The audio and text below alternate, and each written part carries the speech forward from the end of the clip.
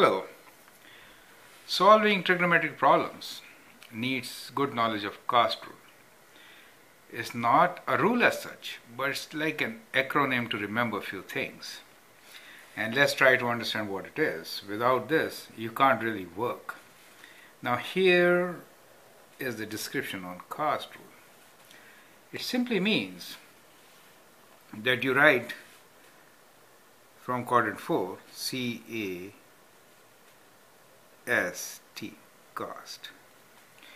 Now it shows in which quadrant what is positive. That is what it shows, right? And it starts with quadrant 4. You know the quadrants? This is quadrant number 1. This is quadrant number 2. Quadrant 3 and quadrant 4.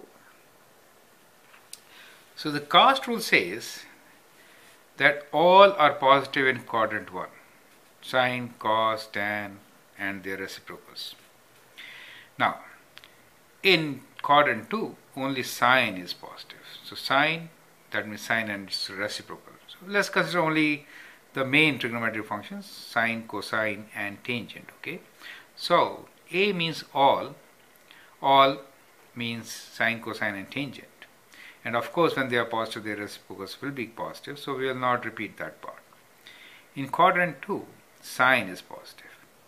But cosine and tangent are negative in quadrant 2. In quadrant 3, only tangent is positive. Sine and cosine are negative.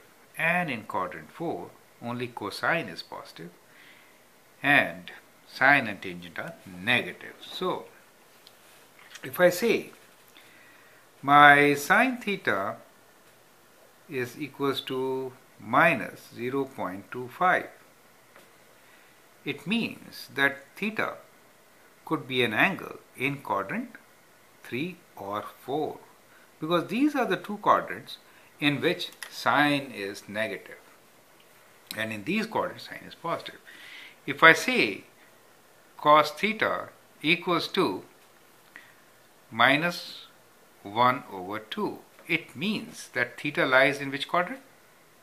Theta is negative in these two quadrants. So it could be in these two, not in these two. In these two, cosine is positive. If I say tan equals to minus square root 3, that means tan of theta, okay? Tan of theta. That means theta angle is in which quadrant? It could be in quadrant 4 or in 2, but not in 3 and 1. Do you understand? That's what it means. So it helps you find the quadrants in which the angle should lie given the sign of the trigonometric function, right? So you'll also observe that if I say sine is positive some value, then within 0 to 360 degrees, I should expect at least two answers, right? It could be positive in here or there, correct? So you should look for two answers. So that is kind of a must. Let's try to understand why is it so that in this quadrant cosine is positive and in that sine is positive. Okay, that reminds me, let's go back to our standard triangle, the right angle triangle, right?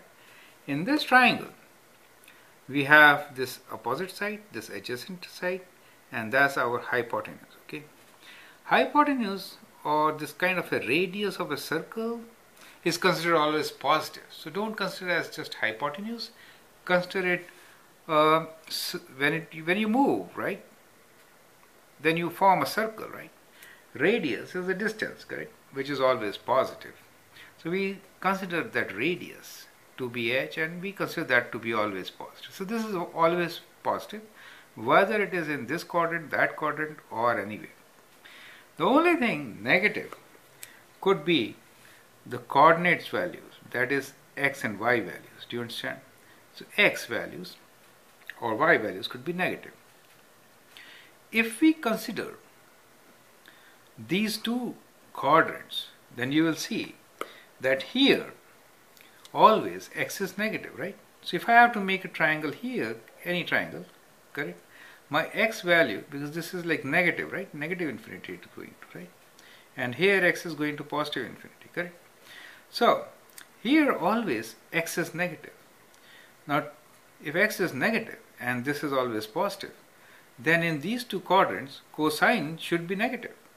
Because what is cosine? Cosine is adjacent over hypotenuse, basically x over hypotenuse. Do you see that?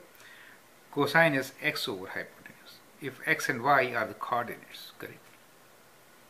Well, let me write that on the side so that you understand what is cosine. So we say cos of angle theta is equals to x over hypotenuse and sine of angle theta is y over hypotenuse and tan of angle theta is the ratio of y and x. Is okay? Now that's how it is. Now let's start with cos. x is negative where? Next here. That means both the coordinates, right? Cos should be negative. Perfect. Here everything is positive. Here x is positive and y is also positive, right? This is going to positive infinity y. So in this quadrant, since x and y, everything is positive, so sine, cosine, and tangent are all positive. But as we move from quadrant 1 to 2, x becomes negative and it affects two things. x becomes negative, so cos becomes negative, and x becomes negative, tangent becomes negative. Sine theta does not have to deal with x, so it remains positive. So here only sine is positive. As we move from quadrant 2 to 3, two things happen. x is negative, y also becomes negative both x and y becomes negative. Now if x is negative, cos is negative. If y is negative, sine is negative. But if both are negative, then negative negative cancel out. Tan remains positive. So that's the reason why tan is positive in quadrant 3. But as we move to quadrant 4, then we see that x is positive, but y is negative. Since x is positive, cosine is positive. Do you see rule? If x is positive but y is negative, sine is negative. Now y is negative will affect both sine and tangent, right? So both are negative in quadrant 4. Do you, do you understand the cast rule now?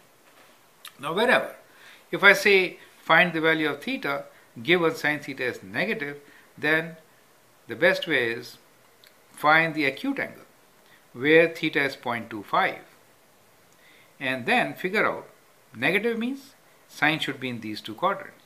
So you can deduct 0.25 from 180 and 0.25 from 360 to get your theta. Correct? That's the way to solve it. If I say tan is negative, then you know your theta, the angle, should lie either in quadrant 2 or in quadrant 4. Correct?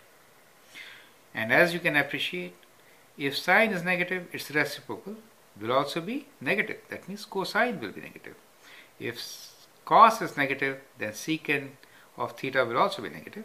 And if tan theta is negative, then cotangent will also be negative. Okay? Right. So remember the cast rule, it helps us to understand, given a value of theta, what is expected value of our trigonometric function. For example, if I say theta is 300 degrees, so 300 degrees means you are in quadrant 4.